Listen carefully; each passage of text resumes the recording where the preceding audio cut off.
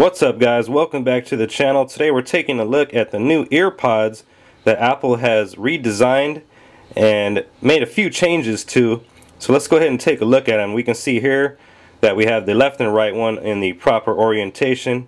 Let's go ahead and take a look around the earpods. You can see the speakers are faced on the inside here and they are ergonomically and dynamically shaped to give you the frequency response level that beats the previous generation earbuds.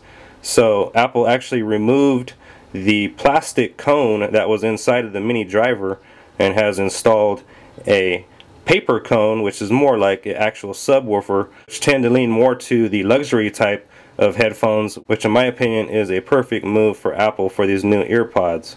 Now taking a quick look here at our microphone we still have our plus and minus button here to change tracks on the iPod as well as turn up the volume and answer a call.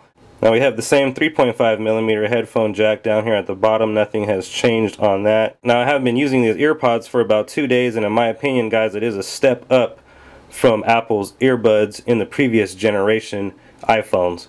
These earpods are definitely a great design. I can tell Apple spent a little bit more extra time and I'm glad to see that Apple uh, took the time to include these redesigned earpods.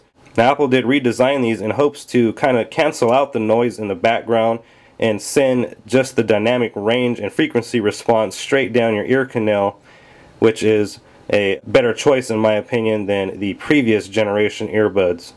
And with the release of these new earbuds, Apple also included a handy carrying case, which I thought was a very good idea take a little look around the package here. We have the Apple logo here in the back.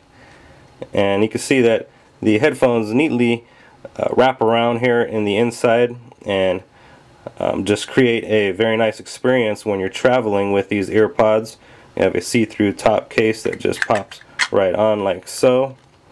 And you're good to go and ready to travel now here's a better look at that case you can see exactly how the earpods fit in there Here's an up close and personal of the right ear pod. Now also the 3.5 millimeter uh, headset jack has not changed. Now here's a better look at the speaker grill and the actual driver itself. Here's our headset mic. You can see we have the up and down volume that's quickly adjustable. Now here we have a picture of the earbuds in the traveling case. And in my opinion, I do like the new ergonomic form factor that Apple introduced into these earpods.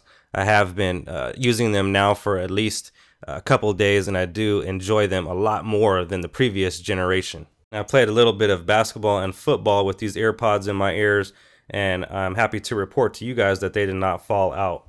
Anyways guys, this has been a quick look at the new Apple earpods that Apple has introduced in the new iPhone 5. I hope you guys enjoyed the video. Give it a thumbs up and I'll see you guys around the channel.